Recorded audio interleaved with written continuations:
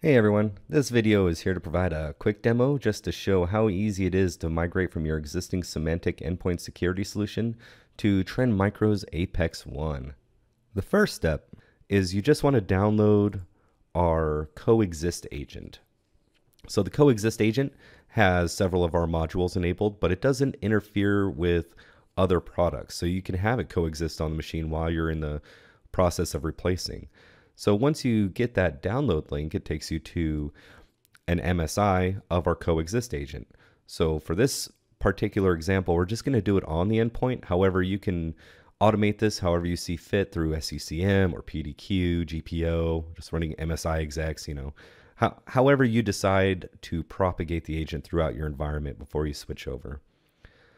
So in running the agent um, on a local machine, you'll just have a couple of quick prompts and it'll just uh, take you down through the install. It's uh, really very easy and just a couple clicks of next and off it goes. if you use the automation techniques described before, then you could simplify this process even more. So once it comes up, you'll be able to see our agent icon pop up next to Symantec and notice there's no impact uh, right now for anything. Um, you don't have to restart, you don't have to change anything. And the green icon shows you that our agent is in coexist mode, and this will protect the endpoint while you go through that transition of removing Symantec. So the next step you would go through at this point is removing Symantec from the targeted machine. So if you have any automation techniques you would like to use to uninstall, you could use those. If it's not SEP Cloud, Symantec's endpoint protection uh, cloud based, uh, our product will generally uninstall it just when you convert over. Uh, there's a couple caveats to that, and we do have some instructions on how to get rid of those. However, uh, for this particular example, we're just going to remove it from the endpoint real quick and see where we go from there. And normally when you remove Symantec, you'll have to restart. It's unfortunate, but it's what some people have to do. So after just a few seconds, you could see that we're the only agent there and you're still protected by our coexist agent at the moment.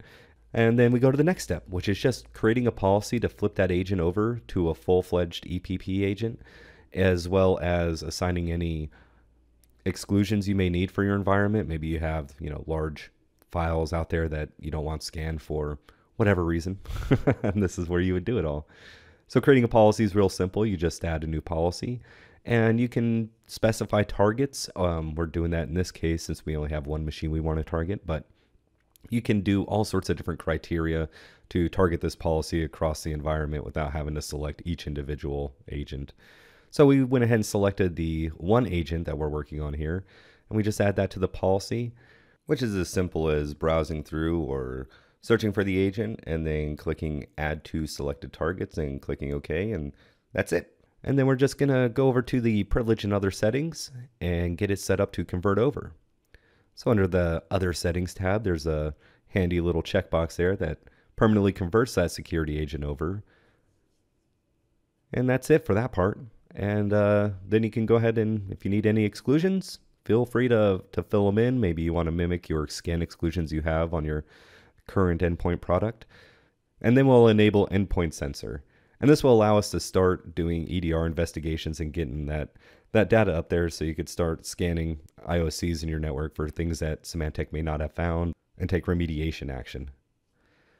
This would also be a good time if you wanted to enable application control, uh, DLP, device control, vulnerability protection, all, all of the breadth of our suite. Uh, you can just do it right here, right before you deploy, and uh, it'll get to that endpoint once it kicks over.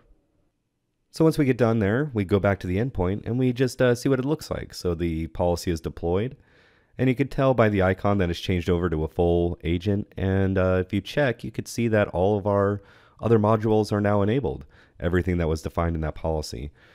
So once you go to the component version, you'll be able to see exactly which policy it has right there that we just issued, which was called Symantec replacement, and we're done.